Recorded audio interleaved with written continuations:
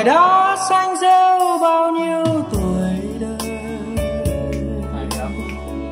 Hỏi gió phiêu du qua bao đêm trời. Hỏi những đêm sâu